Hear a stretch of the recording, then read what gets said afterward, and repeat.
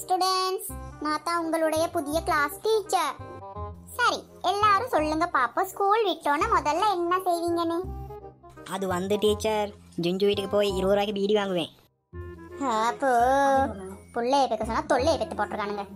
சரி அதுக்கப்புறம் நீ சொல்லு பாப்போம் என்ன செய்வானு நானும் துஞ்சு வீட்டுக்கு போய் சிகரெட் குடிப்பேன் டீச்சர் உங்களை எல்லாம் திருத்தவே முடியாது. நீயாவது ஏதாவது உருப்படியா செய்வியான்னு சொல்லு பாப்போம்.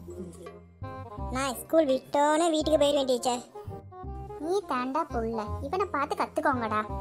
உங்க பேர் என்ன புத்தா? அது வந்து டீச்சர் நான் தான் ஜுஞ்சு.